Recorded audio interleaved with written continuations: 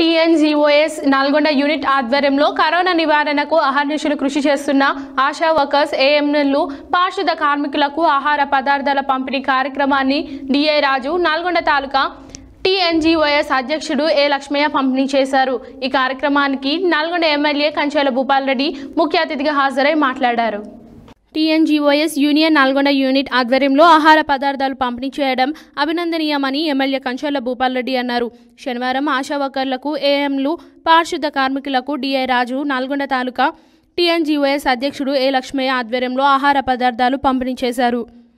ఈ కార్యక్రమంలో municipal chairman Mandadi Saireddy municipal vice chairman Abagoni Ramesh జిల్లా టీఎన్జీఓఎస్ అధ్యక్షుడు శ్రవణ్ కుమార్ కొనతం చంద్రారెడ్డి చేపూరి నరసింహాచారి తదితరులు పాల్గొన్నారు.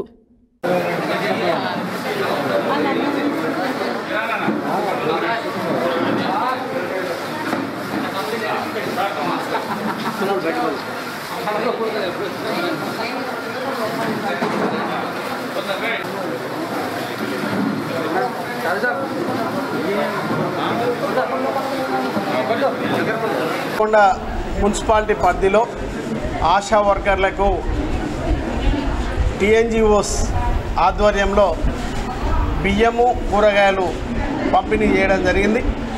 మరి మొదటగా టీఎన్జిఓస్ సంఘానికి నేను కృతజ్ఞతలు తెలియజేస్తా ఉన్నాను. ఈ కరోనాలో కష్టాల కడలిలో ఉన్నటువంటి వారికి సేవ చేస్తున్నటువంటి వారికి మేము సైతం ఏదో రకమైనటువంటి సహాయం చేయాలనే సంకల్పాన్ని మరి ముందుకు రావడం మరి వారు కూడా ఈరోజు బియ్యము కూరగాయలు ఇవ్వడం మరి చాలా సంతోషం.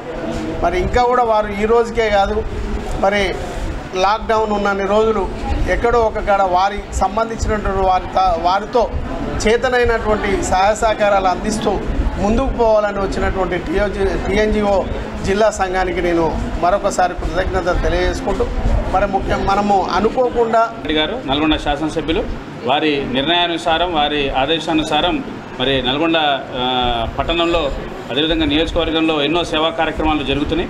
వారి నిర్ణయానుసారమే ఆదేశానుసారమే మేము టీఎన్జిఓస్ ఆధ్వర్యంలో కూడా కంటిన్యూగా ఎవరైతే క్షేత్రస్థాయిలో పనిచేస్తున్నారో ఏఎన్ఎంలు కానీ ఆశా వర్కర్స్ కానీ అదేవిధంగా పారిశుద్ధ్య కార్మికులకు పూర్తి స్థాయిలో మా శక్తి కొలది వారికి కూడా సహాయ సహకారాలు అందించాలని వారి నిర్దేశానుసారం నిర్ణయించుకోవడం జరిగింది. ఈ రోజు నుంచి కంటిన్యూగా ఇట్లాంటి కార్యక్రమాన్ని మేము నిర్వహిస్తాం. ఇంత ఘోరమైన ఈ వ్యాధి మన తెలంగాణ రాష్ట్రంలో ప్రభుత్తున్న సందర్భంగా మన ముఖ్యమంత్రి గారి ఆదేశానుసారం ప్రభుత్వ ఉద్యోగస్తులమందరం కూడా రాష్ట్ర ఖజానాకి ఖర్చుల నిమిత్తము సగం జీతాన్ని ఈ రెండు నెలలుగా జమ చేయడం జరిగింది.